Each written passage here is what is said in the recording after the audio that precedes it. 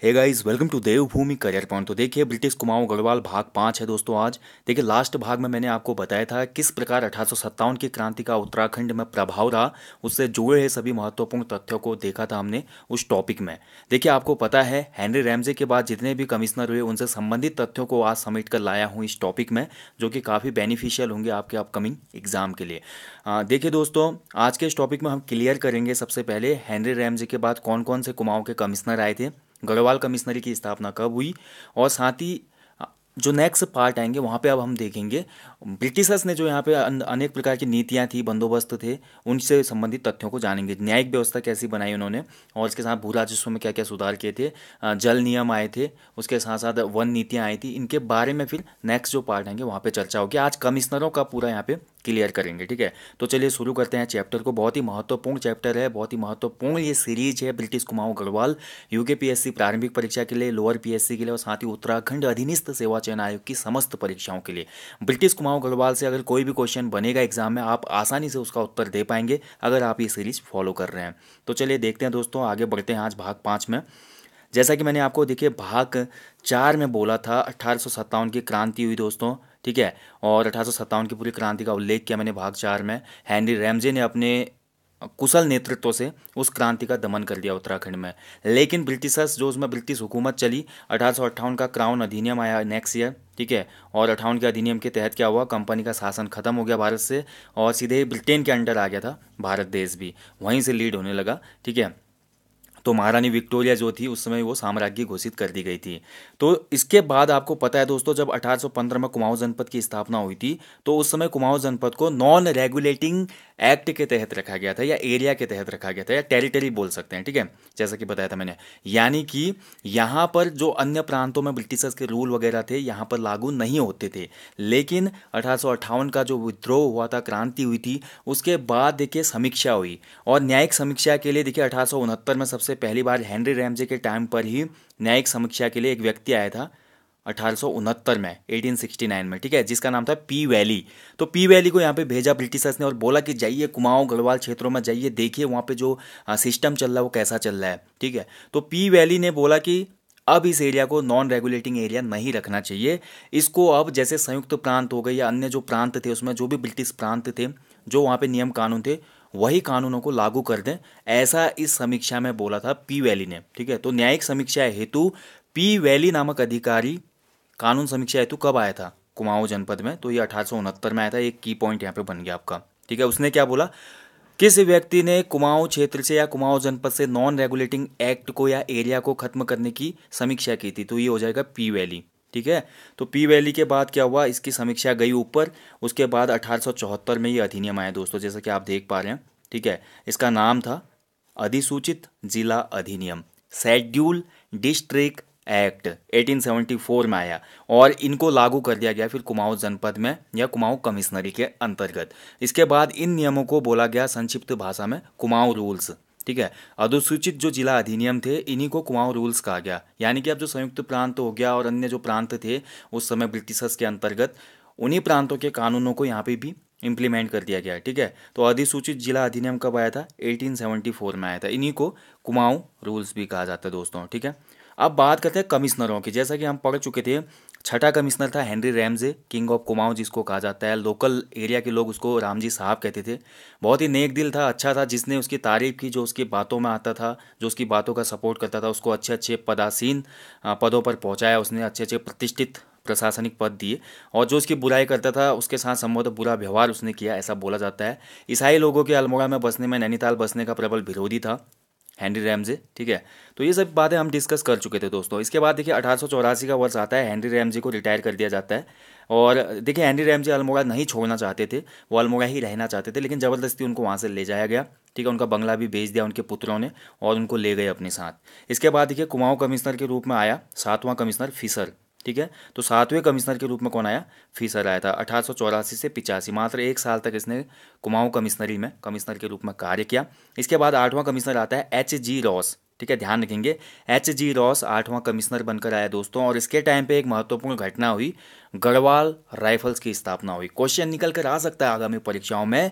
जब गढ़वाल राइफल्स की स्थापना हुई, तत्कालीन कुमाऊं कमिश्नर कौन था? तो आपको पता होना चाहिए एच जी रॉस था। गढ़वाल राइफल्स की स्थापना हुई थी मई अठारह में अल्मोड़ा में, लेकिन बाद में उसको स्थानांतरित किया गया था कालों का डांडा लेंस डाउन में। ठीक है दोस्तों इसके बाद देखिए, प्रशासनिक इतिहास की तरफ़ जाते हैं तो मैं जैसा कि आपको बता चुका था, अठारह सौ इक्यानवे में एक और नया जनपद बनाया गया, कुमाऊं कमिश्नरी के अंतर्गत। ठीक है? अठारह सौ इक्यानवे में कुमाऊं कमिश्नरी में एक और नया जिला बना, नैनीताल ज़िले का पृथक गठन किया गया और अठारह सौ बहत्तर में जो कुमाऊं कमिश्नरी में शामिल हुआ था तराई जिला, उसको फिर से पृथक कर दिया गया।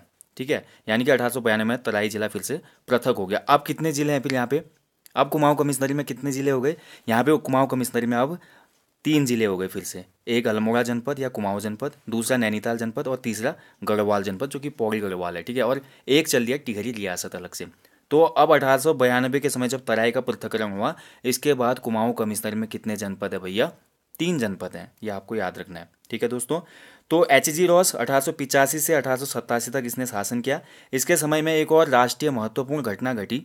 अठारह में पहली बार अखिल भारतीय लेवल का एक संगठन बना जिसको हम जानते हैं आज राष्ट्रीय कांग्रेस के नाम से, ठीक है? ये भी महत्वपूर्ण पॉइंट बन सकता है आगामी परीक्षाओं में। जब भारतीय राष्ट्रीय कांग्रेस की स्थापना हुई, उस समय कुमाऊं कमिश्नर कौन था? तो ये था एच जी रॉस ध्यान रखेंगे इसका।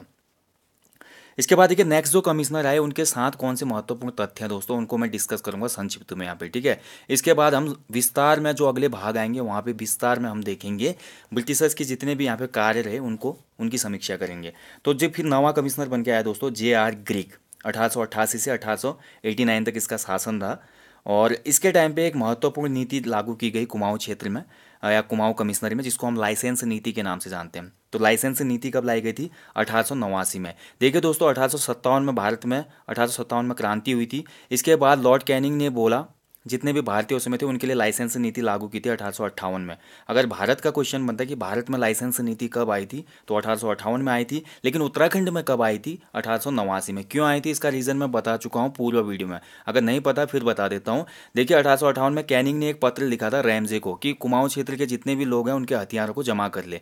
लेकिन रैमजे ने उस पत्र के उत्तर में बोला था कि कुमाऊं के लोगों ने हमेशा हमारी राजभक्ति की है। जब भी हमें कुमाऊं गढ़वाल के लोगों की ज़रूरत पड़ी है, उन लोगों ने हमारी सेवा की है। तो मैं कैसे ये कानून या ये जो आपने ऑर्डर दिया ऊपर से उन पर थोप सकता हूँ?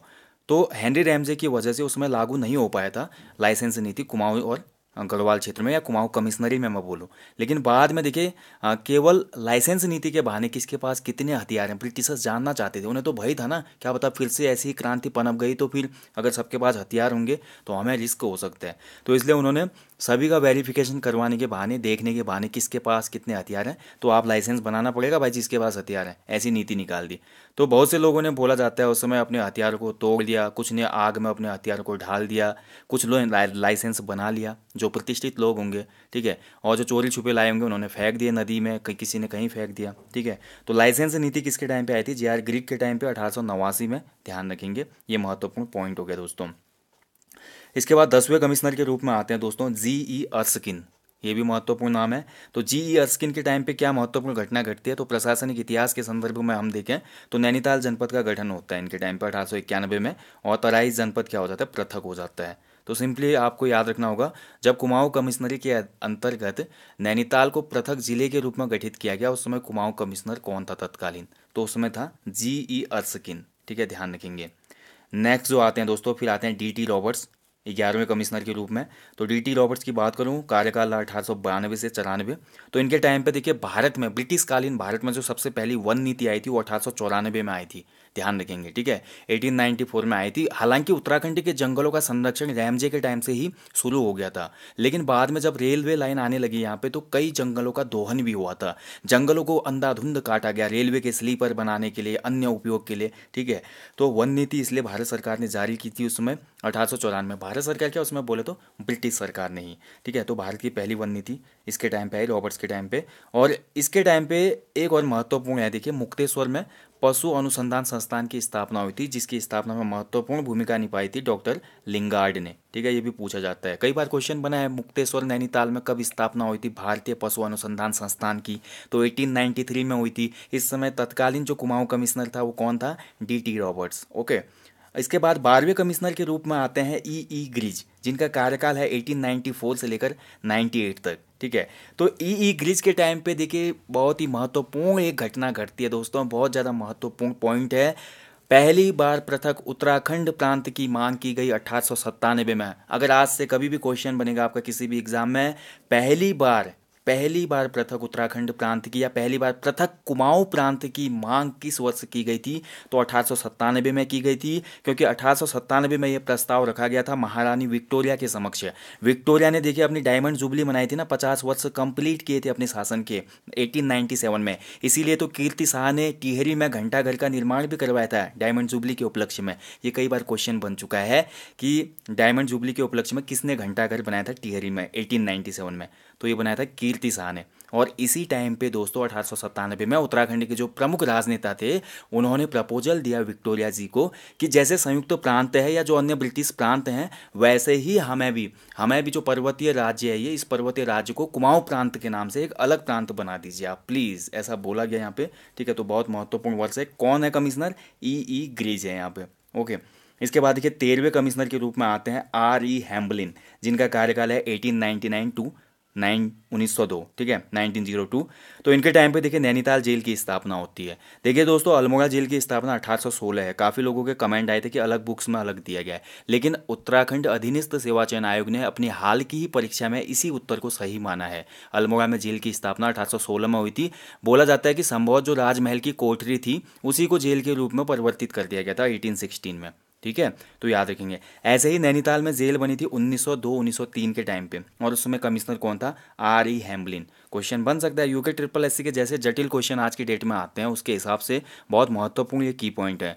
जब नैनीताल जेल की स्थापना हुई या नैनीताल जेल निर्मित हुई उन्नीस सौ में, उसमें तत्कालीन कुमाऊं कमिश्नर कौन था? तो ये था आर ई हेम्बलिन ठीक है? और इसी के साथ ये गढ़वाल में एक महत्वपूर्ण यूनियन बनता है उसमें, गढ़वाल यूनियन ठीक है, तारादत्त गैरोला जी थे, उसके साथ साथ त्रिमूर्ति थे ना, उसमें गढ़वाल यूनियन की स्थापना देहरादून में हुई थी, उन्नीस सौ एक में। त्रिमूर्ति थे, उसमें तारादत्त गैरोला जी विश्वम्बर दत्त चंदोला जी और चंद्रमोहन रतोड़ी जी इनके प्रयासों से। पहला देखिए, गढ़वाल यूनियन की स्थापना हुई यहाँ पे, जो कि गढ़वाल की, बोल सकते हैं हम, एक सशक्त पहला सामाजिक संगठन था। वैसे, हालाँकि मैं बात करूँ, गढ़वाल डिबेटिंग क्लब बन चुका था अठारह में, जब कांग्रेस की स्थापना हुई थी। उससे पूर्व कुमाऊं क्षेत्र की बात करूँ तो एटीन में हेनरी रैमजे के टाइम पे डिबेटिंग क्लब बन चुका था।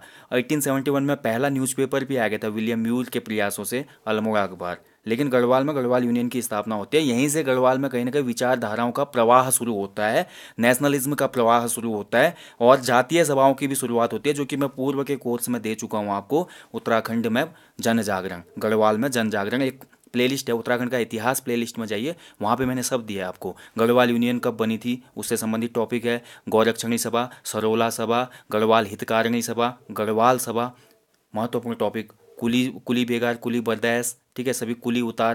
देखिए, अभी हाल में कुली बर्दायस पूछा गया था। बर्दायस में ये होता था कि ग्रामीणों को फ्री में भाजी, तरकारी, राशन वगैरह देना पड़ता था, जो भी संबंधित अधिकारी उनके गाँव में आता था। तो आप ज़रूर देखिएगा एक बार, ठीक है? तो गढ़वाल यूनियन की स्थापना हुई हेम्बलिन के टाइम पे। और सबसे महत्वपूर्ण एक और पॉइंट देहरादून में रेल आ गई भाई, ठीक है? जैसा कि आपको पता है, जो हमारी काठगोदाम में रेल आई थी, वो हेनरी रैमजी के टाइम पर ही पहुँच गई थी एटीन एटी फोर में। ठीक है? अठारह सौ चौरासी में पहुँच गई थी और देहरादून में रेल पहुँची उन्नीस सौ में, ठीक है? ध्यान रखेंगे। और उन्नीस सौ में देहरादून में रेल पहुँचने का तात्कालिक कारण क्या था? क्वेश्चन बन सकता है। तो तात्कालिक कारण कारण था देहरादून में रेल लाइन बनने का, ग्लोगी जल विद्युत परियोजना। ग्लोगी जल विद्युत परियोजना, ठीक है? आपको पता है, भारत में जल विद्युत परियोजना की शुरुआत दार्जिलिंग से हुई थी, पश्चिम बंगाल से। सबसे पहले वहाँ पे लगाया ब्रिटिशर्स ने संयंत्र। लेकिन इसके बाद वो मसूरी में ले गए भट्टा फाल में ग्लोगी जल विद्युत परियोजना बनी। 1906 से शुरू हो गई थी 1890 से इसका कार्य शुरू हो गया था, दोस्तों। ठीक है, बहुत सी बुक्स में डाटा नहीं है। अठारह सौ नब्बे से ग्लोगी जल विद्युत परियोजना का कार्य शुरू हुआ और उन्नीस सौ छः में कंप्लीट हो गई थी उन्नीस सौ छः सही आंसर होगा आगामी परीक्षाओं हेतु। तो अब ग्लोगी परियोजना बननी थी भाई। वहाँ पे पहले तो आपको पता है कोई भी परियोजना बनने के लिए पहले बहुत ज़्यादा वहाँ पे मैप रीडिंग होती है, उसके बाद खुदाई वगैरह होती है। लेकिन फिर पार्ट्स तो चाहिए ना। हैवी संयंत्र जो होते हैं वो तो चाहिए हैवी मशीनरी तो उस मशीनरी को कैसे लाया जाए? ब्रिटिशर्स के मन में सवाल कौन था? तो उन्होंने कहा, यार भैया, पहले देहरादून में हम रेल पहुंचाते हैं। रेल में आएगा पूरा सामान, तब जाके ये परियोजना हो पाएगी पूर्ण इसी वजह से उन्नीस सौ में देहरादून में रेल आगमन हुआ दोस्तों। और उसमें कमिश्नर कौन है? तत्कालीन Kumaon commissioner R E Hamlin. Okay? फिर इसके बाद चौदहवें कमिश्नर के रूप में आए दोस्तों ए एम डब्ल्यू शेक्सपियर 1903 से 1905 इनके टाइम की महत्वपूर्ण घटना गढ़वाली समाचार। ठीक है, गढ़वाल का सबसे पहला तो गढ़वाल समाचार था, लेकिन सबसे सशक्त समाचार पत्र बन के जो उभरा गढ़वाली समाज में, या पूरे कुमाऊं क्षेत्र में बोल सकते हैं, वो था गढ़वाली समाचार। ठीक है 1905 में। इसके बाद पंद्रहवें कमिश्नर के रूप में आते हैं जे एस कैंपुएल 1906 से लेकर 1914 तक इनका कार्यकाल रहा दोस्तों। कैंपुएल के टाइम पे देखिए, बहुत सी अब उत्तराखंड में कहीं ना कहीं राष्ट्रीय आंदोलनों का प्रवाह शुरू हो चुका था कैंपवेल के आने तक, ठीक है? इसी क्रम में देखिए, कुली जैसे ब्रिटिशर्स 1815 में आए थे उत्तराखंड में, कुमाऊं जनपद की स्थापना हुई थी, कुली बेगार प्रथा भी शुरू हो गई थी उसी टाइम से, ठीक है? अब कुली बेगार प्रथा को कम करने के लिए एक उपाय सूझा था, एक व्यक्ति थे उसमें गढ़वाल में, जोध सिंह नेगी। जोध सिंह नेगी ने सोचा, यार भाई, कुलियों को कुछ नहीं मिलता बेगार व्यवस्था बनी आई है इससे अच्छा क्यों ना एक एजेंसी बनाते हैं, को थोड़ा फंडिंग करते हैं, थोड़ा डोनेशन करते हैं, और उसी में से कुलियों की जिनकी भी ड्यूटी लगेगी, कुछ ना कुछ उनको रोज़ाना मेहनत आना दे दिया जाएगा, ठीक है? जो भी रोज़गारी होगी या दिन का जो भी भत्ता होगा, वो दे देंगे। इसको देखते हुए उन्नीस सौ आठ में कुली एजेंसी की स्थापना होती है जोध सिंह नेगी के प्रयासों से। ठीक है? और इसी बार देखिए ब्रिटिशर्स को लगने लगा कि यार भाई कुमाऊं गढ़वाल क्षेत्र जो पहाड़ी इलाका है, बहुत ज़्यादा ये अनुकूल है बागवानी के लिए। तो इसलिए कुमाऊं गवर्नमेंट गार्डन की भी स्थापना हुई थी 1909 में कैंपोवेल के टाइम पे। और ग्लोगी परियोजना मैं आपको बता चुका हूँ, अठारह सौ नब्बे से शुरू हुआ काम उन्नीस सौ सात में ग्लोगी परियोजना से उत्पादन शुरू हो गया था दोस्तों। ठीक है? ध्यान रखेंगे क्रियाशील हो गई थी योजना उन्नीस सौ सात में। ठीक है? भट्टाफाल मसूरी में है ये। तो ये कैंपोवेल के टाइम की कुछ महत्वपूर्ण घटनाएँ और भी घटनाएँ हैं, जैसे मैं बात करूँ, देखिए, अल्मोड़ा में कांग्रेस, अल्मोड़ा कांग्रेस की स्थापना हुई थी, वो फिर हम अलग से पढ़ेंगे। लेकिन हाँ क्वेश्चन बन सकता है। मैं यूके ट्रिपल एससी की गारंटी नहीं ले सकता, क्योंकि क्वेश्चन पूछने का तरीका अलग है। आज की डेट में यूके ट्रिपल एससी में जो एग्जामिनर बैठे हैं दोस्तों, वो आपके और हम जैसे ही आधुनिक युग वाले युवा हैं, वो ऐसा क्वेश्चन पेपर सेट करते हैं कि वो आपका चेक करते हैं कि आपने चीज़ों को कितना कनेक्ट किया है। आप चीज़ों को ऊपर ऊपर से पढ़ते हैं या गहराई में जाकर गोते लगाकर हीरा मोती लाने की भांति स्टडी करते हैं तो ऐसा चेक करते हूँ ठीक है? अब ये तो सभी को याद हो जाएगा फैक्ट भी याद हो जाएँगे। कुमाऊं गवर्नमेंट गार्डन की स्थापना 1909 में हुई, तत्कालीन कमिश्नर कौन था? ऐसे क्वेश्चन बन जाएगा। तो कैंपोएल है, आपको याद रखना है, ठीक है? ग्लोगी परियोजना इसके टाइम पे हुई अल्मोड़ा में होम रूल लीग की स्थापना इसी के टाइम पे हुई अल्मोड़ा कांग्रेस की स्थापना इसी के टाइम पे हुई, ठीक है? तो ये महत्वपूर्ण कुछ घटनाएँ कैंपोएल के टाइम की। इसके बाद नेक्स्ट जो कमिश्नर आते हैं, फिर आते हैं पर्सी विंडम बहुत महत्वपूर्ण नाम है। इसके समय पे एक ऐतिहासिक घटना घटी थी पूरे उत्तराखंड में, जिसको हम जानते हैं। आज का ही दिन था दोस्तों, मकर संक्रांति का दिन था। आज का ही दिन था। कुली बेगार प्रथा का अंत हुआ था उत्तराखंड में, ठीक है? तो परसी विंडम के टाइम पर ही उत्तराखंड में एक कुप्रथा, कुली बेगार प्रथा समाप्त हुई थी मकर संक्रांति के दिन 1921 में। बागेश्वर जनपद जनपद नहीं बोलेंगे, बागेश्वर उसमें स्थल था, कुमाऊं जनपद का ही, वहाँ पे सरयू नदी के तट पर, ठीक है? देखिए, बद्रीदत्त पांडे जी ने इस आंदोलन को लीड किया था और ये आंदोलन पूर्णतः किस पे था? असहयोग आंदोलन की तर्ज पे था। एक और महत्वपूर्ण पॉइंट दे रहा हूँ मैं यहाँ पे आपको। उत्तराखंड का कौन सा आंदोलन असहयोग आंदोलन की तर्ज पर था? तो ये कुली बिगाड़ आंदोलन था दोस्तों। इसी टाइम परसी विंडम के टाइम पे देखिए कुमाऊं परिषद की स्थापना होती है। कुमाऊं परिषद की पूरी सेपरेट वीडियो मैं आपको दे चुका हूँ। एक छोटी सी ट्रिक भी दी है मैंने, जिससे कुमाऊं परिषद के आपको पूरे अधिवेशन याद हो जाएँगे और साथ ही अध्यक्षता किसने की वो भी याद हो जाएगा। परसी विंडम के टाइम पर देखिए कुमाऊं जल नियम भी आए उन्नीस सौ सत्रह में, ठीक है? इसके अंतर्गत घराटों पर टैक्स वगैरह जो भी जल नियम थे वो बनाए गए। उसके बाद फॉरेस्ट जो नियमावली थी या वन नीतियाँ थी वो भी लाई गई। वन आंदोलन हुए 1921 के आसपास, बहुत से वन आंदोलन इसके टाइम पे हुए विंडम के टाइम पे। तो विंडम का जो कार्यकाल रहा दोस्तों, ये आंदोलनों का ही कार्यकाल रहा। अब यहाँ से क्वेश्चन ये निकल के आएगा, जैसा कि मैंने बोला, आयोग में जो एग्जामिनर बैठे हैं, वो देखते हैं कि आप समुद्र में कितना गहरा गोता लगा रहे हैं। पर से विंडम के बारे में सिंपली ये पूछ देगा कि कुमाऊं का कौन सा कमिश्नर हुआ जो आंदोलनों से संलग्न रहा या आंदोलनों से जिसकी ज़िंदगी अभिभूत रही थी उस समय या घिरी हुई रही थी। ठीक है? सर्वाधिक जो जन आंदोलन हुए थे, किस कमिश्नर के टाइम पे हुए थे? क्वेश्चन ऐसे बनेगा। थोड़ा दिमाग वहाँ पे यूज़ करना है आपने। वहाँ पे आंसर आपको आना चाहिए। यस यार परसी विंडम था, उसी के टाइम पे बहुत से आंदोलन हुए थे, ठीक है? तो आपको ऐसे याद रखना होगा दोस्तों। और परसी विंडम के टाइम पर ही एक कमेटी भी बनी थी फॉरेस्ट ग्रीवेंस कमेटी 1921 में ही। क्या थी ये फॉरेस्ट ग्रीवेंस कमेटी ये हम डिस्कस करेंगे। जब मैं विस्तृत अभी आगे प्रशासनिक नीतियाँ और जो अन्य वन आंदोलन हुए, इनके बारे में वीडियो दूँगा आपको ब्रिटिश कुमाऊं गढ़वाल के अंतर्गत, ठीक है? लेकिन सिंपली आप फैक्ट याद रखें फॉरेस्ट ग्रीवेंस कमेटी 1921 में स्थापित हुई। पर्सी विंडम या पी विंडम के टाइम पे, ठीक है? और कुली बेगार प्रथा समाप्त हुई थी 1921 में, और जैसा कि मैं आपको बता चुका हूँ, कुली एजेंसी जो कि जे एस कैंपवेल के टाइम पे बनी थी, इस कुली एजेंसी की भी समाप्ति हो गई 1923 में, ठीक है? ध्यान रखेंगे 1923 में कुली एजेंसी को भी समाप्त कर दिया गया उत्तराखंड से। क्यों? कुली बेगार प्रथा समाप्त हो गई तो फिर कुली एजेंसी की क्या आवश्यकता है? ये तो सोचने वाली बात है ना।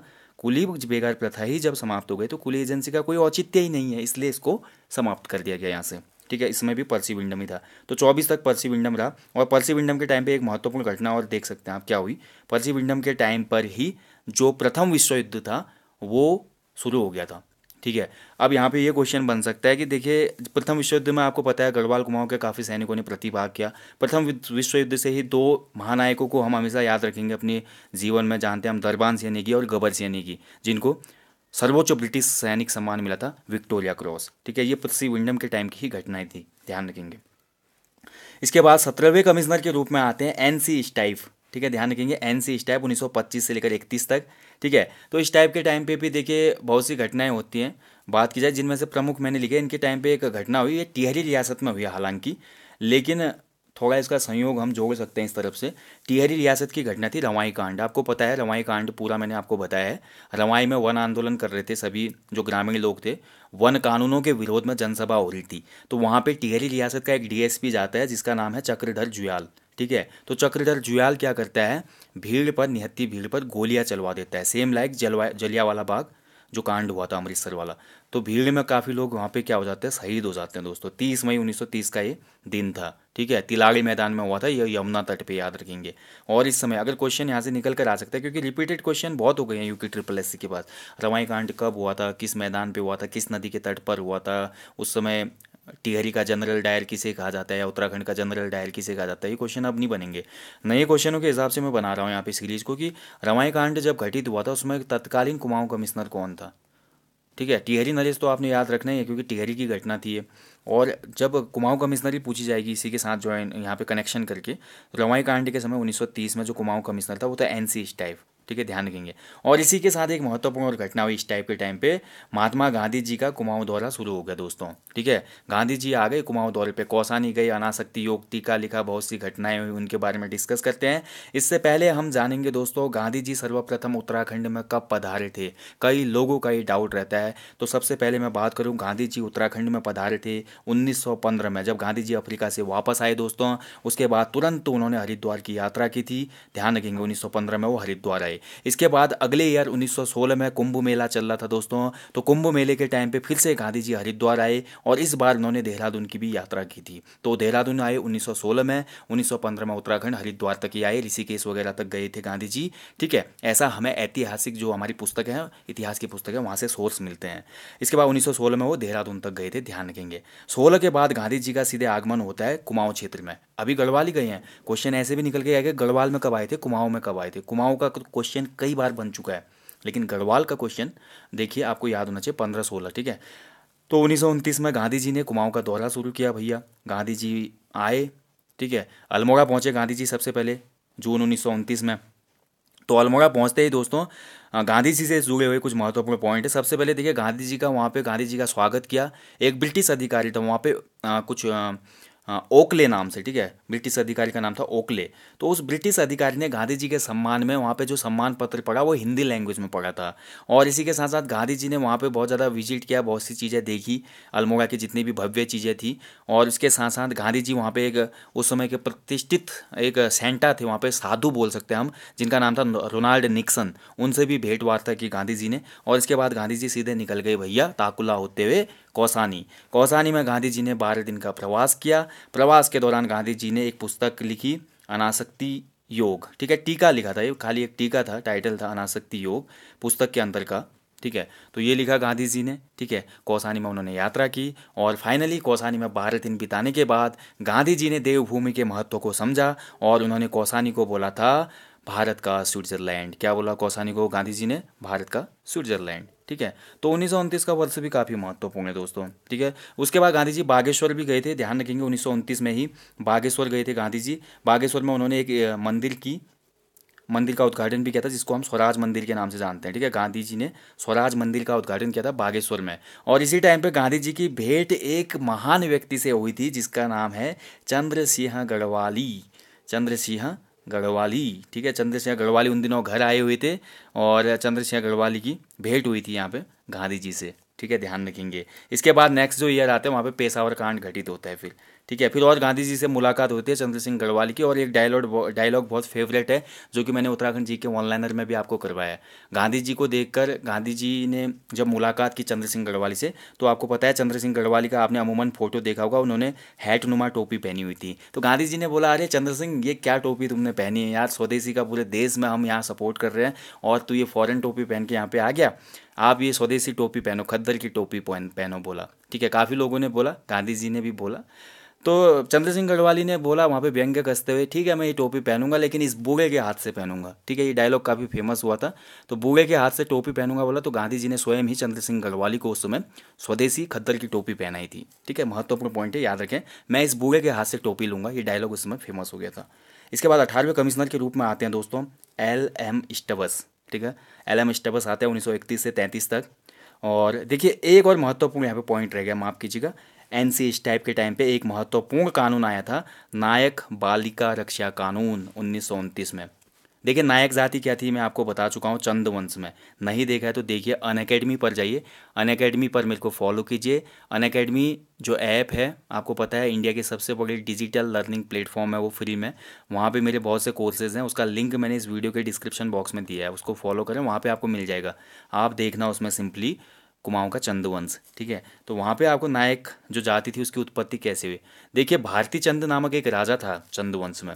तो भारती चंद ने डोटी पर अटैक किया था सबसे पहले, डोटी यानी कि नेपाल पे, ठीक है? अब क्या हुआ, ये युद्ध बड़ा लंबा चला दोस्तों। तो युद्ध लंबा चलता है तो सैनिक वहीं आसपास अपना डेरा डाल देते हैं। तो सीमा के क्षेत्रों में उन्होंने डेरा डाल दिया था भारती चंद के सैनिकों ने। और इसी दौरान उन सैनिकों के नेपाल की स्त्रियों से संबंध बन गए थे, ठीक है? और इन्हीं संबंधों के फलस्वरूप जो पुत्र या पुत्री पैदा हुए, इनको नायक जाति में रखा गया। ठीक है? इनका कोई वजूद नहीं था और बाद में बोला जाता है कि इनका नायक जाति के लोगों का जो स्पेशली उसमें प्रोफेशन बन चुका था प्रोस्टिट्यूशन का ये काम करते थे काफ़ी ज़्यादा। इसका काफ़ी ज़्यादा विरोध किया था बद्रीदत्त पांडे जी ने भी, उन्होंने अपनी पुस्तक कुमाऊं के इतिहास में भी इसका वर्णन किया है कि नायक जाति के जो लोग थे, वो मुख्यतः प्रोस्टिट्यूशन के काम में संलग्न थे, ठीक है? तो इसको देखते हुए ब्रिटिशर्स ने बोला, यार, छोटे उम्र के बच्चियों को भी यहाँ पे भेज दिया जाता है या ऐसे काम किए जाते हैं व्यविचार संबंधी जो घटनाएँ हो रही हैं, इनको बंद करो यार। इसके लिए नायक बालिका रक्षा कानून लाया गया था उन्नीस में। इसमें यह बोला गया कि अठारह साल से कम की उम्र की अगर कोई लड़की, अगर आप उसके साथ कुछ गलत करते हैं या अठारह साल से कम की लड़की प्रोस्टिट्यूशन का काम करती है तो कि ये एक क्या होगा, दंडनीय अपराध होगा, ठीक है? तो ये बालिका कानून आया था उन्नीस सौ उनतीस में, ध्यान रखेंगे। उस समय कौन था कुमाऊं कमिश्नर? कुमाऊं कमिश्नर थे हमारे एन सी स्टाइफ ठीक है स्टाइफ के टाइम की घटनाएँ हो गई। अठारहवा कमिश्नर आ गया आप एल एम स्टप्स उन्नीस सौ इकतीस से तैंतीस। तो तैंतीस में आया दोस्तों ये, ठीक है? तो इसके टाइम पे तो फ़िलहाल ऐसे कोई एक महत्वपूर्ण पॉइंट मेरे को मिला नहीं जो मैं यहाँ पे डिस्कस करता। हाँ ये है कि इस टाइप के टाइम पे एक और महत्वपूर्ण घटना हुई थी, पेशावर कांड, ये भी याद रखेंगे आप, ठीक है? तो जब पेशावर कांड घटित हुआ था, उसमें कुमाऊं कमिश्नर कौन था क्वेश्चन बन सकता है। तो ये भी एन सी स्टाइफ ही था उस समय, ठीक है? पेशावर कांड आपको पता है, तेईस अप्रैल उन्नीस सौ तीस को घटित हुआ था। देखिए वीर चंद्र सिंह गढ़वाली जो थे गढ़वाल दो बटा अठारह रेजिमेंट में थे तो उनकी पोस्टिंग हुई थी उसमें। किस्सा खानी एक मार्केट था उसमें, ठीक है? अफ़गानिस्तान की ये बात है पूरी। तो यहाँ पर पेशावर में उनकी ड्यूटी लगी थी, ठीक है? किस्सा खानी मार्केट में। माफ़ कीजिएगा, पेशावर पाकिस्तान में। किस्सा खानी मार्केट में उनकी ड्यूटी लगी थी। तो वहाँ पर कुछ अफ़गान पठान भाई क्या कर रहे थे? व्यक्तिगत सत्याग्रह कर रहे थे। और इनके ऑफिसर ने इनको ऑर्डर दिया कि आप गोली चलाओ इन पर ये चुप नहीं हो रहे हैं और ये सत्याग्रह कर रहे हैं, आंदोलन कर रहे हैं। लेकिन वहाँ पे चंद्र सिंह गढ़वाली ने अपने रेजिमेंट के सभी साथियों से बोला कि कोई भी फायर नहीं करेगा, ठीक है? तो इस घटना के बाद क्या हुआ, इन पे देशद्रोह का मुकदमा दर्ज हुआ और इसी घटना को पेशावर कांड के रूप में जाना जाता है और इस घटना के बाद ही गढ़वाली नाम से फ़ेमस हुई है ठीक है? और संपूर्ण गढ़वाल में या संपूर्ण भारत में गढ़वाल दिवस भी मनाया गया था इस अवसर पर गांधी जी ने भी बड़ी तारीफ़ की थी इस घटना के बाद। चंद्र सिंह गढ़वाली की, ठीक है? अब बात करें, कई बार डाउट होता है चंद्र सिंह गढ़वाली का जो वास्तविक नाम था क्या था? तो बहुत से राइटरों ने चंद्र सिंह भंडारी ही दिया है दोस्तों, ठीक है? काफ़ी लोगों का डाउट है कि नेगी दिया है बहुत जगह पे लेकिन अधिकांश में भंडारी भी दिया हुआ है, ठीक है? और यू के ट्रिपल एससी में पूर्व में ये क्वेश्चन पूछा गया एक बार तो पूर्व में भी भंडारी यहाँ पे सही आंसर मान्य हुआ है तो आपको भंडारी के साथ ही जाना चाहिए, ठीक है? तो ये हो गया पेशावर कांड भी गठित। इसके बाद गोयन जी आए 1933 से 35 ऐसी कोई महत्वपूर्ण घटना है नहीं। फिर आए थे ए डब्ल्यू इबर्टसन ठीक है, ये वही इबर्टसन है जिन्होंने अंतिम भूमि वस्तु भूमि बंदोबस्त किया था उत्तराखंड का। अब आप बोलेंगे इबर्टसन ने तो 1928 में किया था, ठीक है। देखिए, गढ़वाल कुमाऊं का अंतिम भूमि बंदोबस्त 1928 में हुआ था इबर्टसन के द्वारा। उसमें इबर्टसन जो थे सहायक के तौर पे तैनात थे, ठीक है? कमिश्नर तो बाद में बने ना 1935 से लेकर उन्नीस सौ उनतालीस तक। उससे पूर्व भी तो वो कुछ प्रशासनिक कार्यों में रहे होंगे, प्रमोशन के बाद ही तो कमिश्नर तक पहुँचे होंगे। तो 1928 में जब इबर्सन जो था, वो सहायक के रूप में कार्यरत था तो इसी के टाइम पे कुमाऊं गढ़वाल का अंतिम भूमि बंदोबस्त हुआ था, याद रखेंगे, ठीक है? इस कमिश्नर से जुड़ा हुआ महत्वपूर्ण पॉइंट और अगर मैं बात करूँ टिहरी रियासत का अंतिम भूमि बंदोबस्त कब हुआ तो टिहरी रियासत का अंतिम भूमि बंदोबस्त 1924 में हुआ था, शासक कौन थे उसमें? नरेंद्र शाह। ठीक है, कौन थे? नरेंद्र शाह ध्यान रखेंगे तो अब इबरसन के टाइम पे देखिए, गांधी आश्रम स्थापित होता है, उन्नीस सौ सैंतीस चनौदा अल्मोड़ा में। ठीक है, शांतिलाल त्रिवेदी के प्रयासों से, ये महत्वपूर्ण है। अब क्वेश्चन निकल के आ सकता है, तभी मैं कनेक्शन बनाइए बोल रहा हूँ। जब गांधी आश्रम की उत्तराखंड में स्थापना हुई थी, उसमें कुमाऊं कमिश्नर कौन था तत्कालीन? ऐसे क्वेश्चन जो बन सकते हैं, उनके लिए मैं यहाँ पे सभी महत्वपूर्ण पॉइंट्स को आपस में जोड़ रहा हूँ। ठीक है, ध्यान रखेंगे। इसके बाद इक्कीसवें कमिश्नर के रूप में आते हैं जी एल विवियन उन्नीस सौ उनतालीस से इकतालीस तक। इन्हीं के टाइम पे द्वितीय विश्व युद्ध का प्रारंभ हुआ था। ध्यान रखेंगे, उन्नीस सौ उनतालीस से आपको पता है, उन्नीस सौ पैंतालीस तक द्वितीय विश्व युद्ध हुआ था और द्वितीय विश्व युद्ध के दौरान भी कुमाऊं गढ़वाल के लोगों ने भरपूर सहयोग किया था, ब्रिटिश सेना की या मित्र राष्ट्र की सेना में थी उस समय, ये ध्यान रखेंगे। उसके बाद बाईसवें कमिश्नर के रूप में आते हैं अल्मोड़ा, कुमाऊं कमिश्नरी में टी जे सी एक्टन, ठीक है? टी जे सी एक्टन का कार्यकाल रहा उन्नीस सौ इकतालीस से उन्नीस सौ तैंतालीस तक दोस्तों और इस समय ये घटना घटती है। सल्ट में, ठीक है? सल्ट में आपको पता है, पाँच पाँच सितंबर उन्नीस सौ बयालीस को एक गोलीकांड हो जाता है, जिसमें कुछ लोग शहीद हो जाते हैं और सल्ट घटना के बाद सल्ट क्षेत्र को गांधी जी ने बोला था, कुमाऊं का बारदोली ये भी बहुत महत्वपूर्ण पॉइंट है, ठीक है? तो अल्मोड़ा में है सल्ट। तो इसकी ये घटना हुई थी एक्टन के टाइम पे। इसके बाद तेईसवें कमिश्नर के रूप में आते हैं डब्ल्यू डब्ल्यू फिनले 1943 से सैंतालीस तक। ठीक है? तो फिनले के टाइम पे क्या महत्वपूर्ण घटना होती है? कुमाऊं रेजिमेंट की स्थापना होती है सत्ताईस अक्टूबर 1945 में, ठीक है? 27 अक्टूबर 1945 को कुमाऊं रेजिमेंट की स्थापना होती है, ध्यान रखेंगे। इसके बाद देखिए, अंतिम कमिश्नर आते हैं, कुमाऊं कमिश्नरी के, ध्यान रखेंगे। आज़ादी के पहले की बात हो रही है, ठीक है? आज़ादी के टाइम तक की। तो आज़ादी के टाइम तक की जो अंतिम कमिश्नर थे दोस्तों, वो थे K L Mehta, nineteen forty seven से, फोर्टी एट तक, ठीक है? ध्यान रखेंगे। और के एल मेहता देखिए, एकमात्र यहाँ पे भारतीय अब आपको कमिश्नर यहाँ पे नाम दिखा है।